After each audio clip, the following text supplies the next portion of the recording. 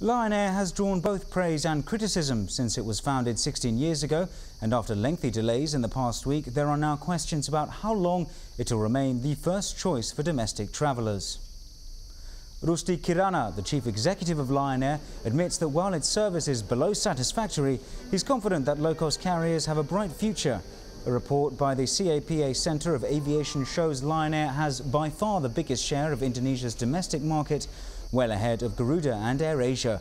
Given that many rely on the airline for short and middle distance routes, last week's delays may prove costly.